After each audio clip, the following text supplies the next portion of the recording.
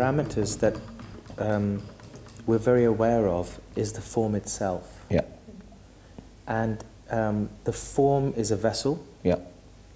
And for us, if it's immersed, we feel it is universal, it goes beyond the form.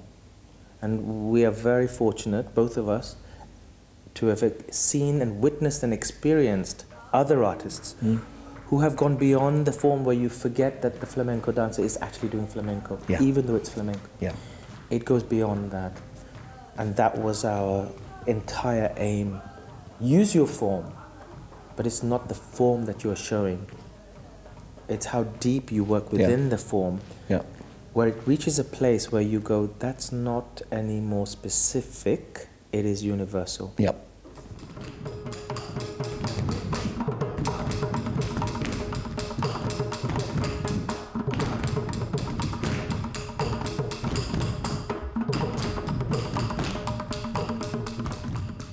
I think we both came to a place of really feeling a sense of responsibility Yeah. as well, in terms of if uh, the two of us as as um, senior artists, if you like, were in a position to guide in some way, because at the same time we have always said it's not completely our jobs.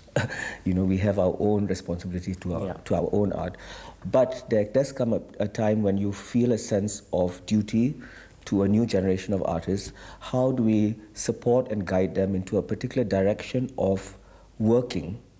that is best going to help them um, develop a particular sense of intelligence into a uh, uh, working with their practice as Indian classical dancers, having a conviction with their form, um, and then being able to apply that into a rigor and a practice that can sustain them through a journey professionally, in this case.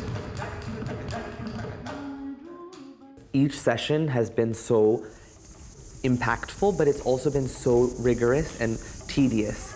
Every minute we're constantly like challenged and failing and deepening and you know it's like it's like tiny grains of sand that are being like stacked up. So it's such a so, slow and languorous process, but I think for me that's been very um, challenging, but also extremely inspiring, um, and to really like push out everything else and just be present. This kind of immersion, I like the word immersion rather than surrender because I, I know that my ego is not non existent, and surrender requires that sense of non existence of ego. So I like to use the word immersion. And they, I think this kind of immersion and, and detailing every little bit is there's an intention. It's not, oh, we just do it, or we've learned it, or we do it well, or we just turn, or we just stamp. No, there's a reason, and there's an intention, and there's a depth to it, which has been fascinating. I, I really like being pushed. And, and we try to push ourselves when we're in our own practice. And um, both Mavin and Akram have said this. That, I mean, it is very solo practice. Um, no, whether you're choreographing on people or on yourself, it, it is very lonely. And you can push yourself only so far. And so I think having class, doing new rep that is completely outside of my comfort zone, but also understanding the process that goes into that choreography has been really intense. Both Mavin and Akram have been telling us in the different sessions, so whether it's with our classical technique of how we need to really um, hold on to that and to push with rigor and how can we take responsibility of our own um, voice in Indian classical dance but then also in different aspects of it, whether it's abhinaya, more expressional um, part of dance, how can you go deeper in that and how can you build a greater narrative within the Indian classical dance form itself so that you've got a clear intention of why you're doing something and it's not just because someone's taught you or because um, it's traditionally done in a certain way. Coming here and listening to people talk has really validated, validated what I was doing in a way and really like given me a way to keep going uh, in the sense that, like I said, it gave us the words. Like it, it's describing what I'm doing or what I want to do, and it doesn't sound crazy anymore, you know. Um, so I think that articulation of what my goals are has really been, really been eye-opening for me.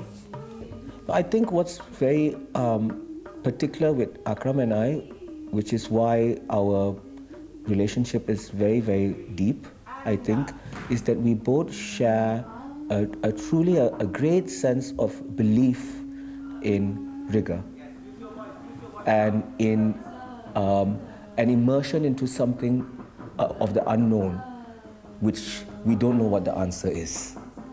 So the conviction to immerse and just trust that through that rigor over a period of time, something will reveal itself. We have both shared this, I think, from the time that we first met.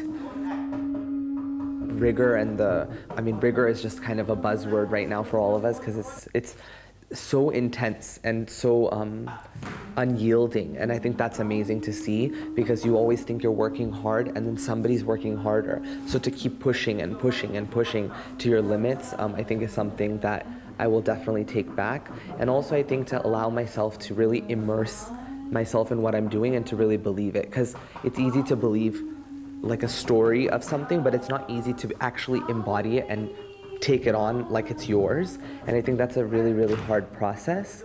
And um, I'm hoping to like try that. And I'm sure I'm gonna fail, but I'm gonna keep on trying. And I think that perseverance is something that I'll also take back. The process element has been very crucial, that we're not here to teach either a piece of repertoire that they take away with. Uh, we're not here to give them a formula really that, that, is, uh, that can be used by everyone, but we're just sharing with them really the, the, the manner in which we approach work from a process perspective. And hopefully with that, that their eyes open up into possibilities. Because the experiential element is spirituality. Lies in spirituality. Yeah. At a certain point, it becomes spiritual. And in a sense, Indian classical dancers, it's part of their culture. Mm. It's a part of uh, the myths that we study. Yeah.